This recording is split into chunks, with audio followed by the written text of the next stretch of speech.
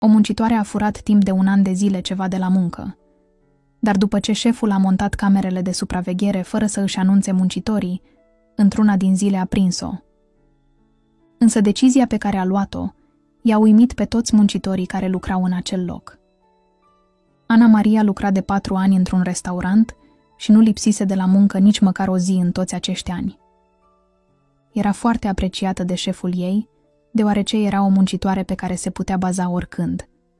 Nu s-a plâns niciodată de orele multe de muncă, de statul peste program, de munca grea sau de altceva. Însă într-una din zile, șeful a montat o cameră ascunsă de supraveghere. Nu se aștepta să vadă pe imagini ceea ce văzuse.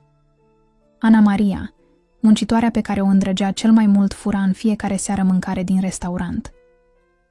Chiar înainte de a pleca acasă, ea se uita în stânga și în dreapta, asigurându-se că nu este văzută de niciunul dintre colegii ei.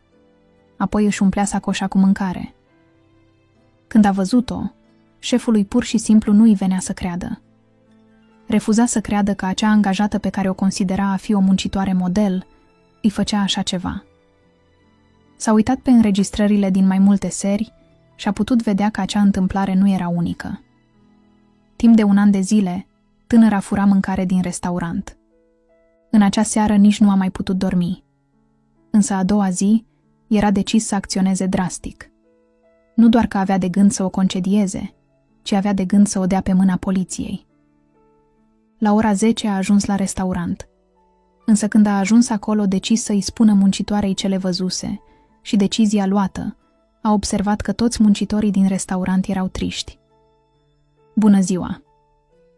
Ce s-a întâmplat? A întrebat-o șeful pe bucătăreasă. În timp ce se uita printre angajați, căutând-o cu privirea pe fată. Și unde este Ana Maria?" a întrebat el pe un ton nervos. Ana Maria a plecat mai devreme, domnule. Cum adică a plecat?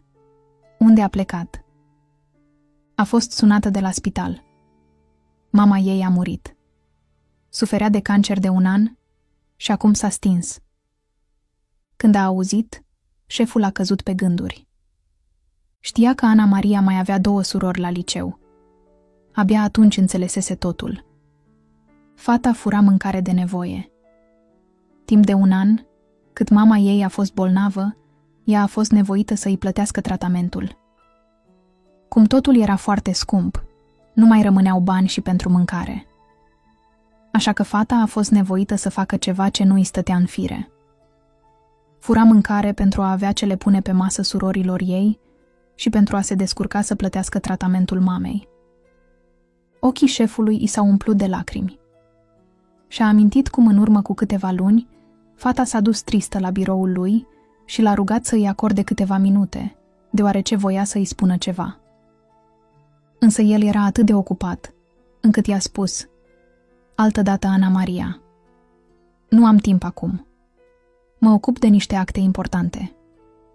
Cu siguranță acela fusese momentul în care fata își făcuse curaj să-i ceară o mână de ajutor șefului.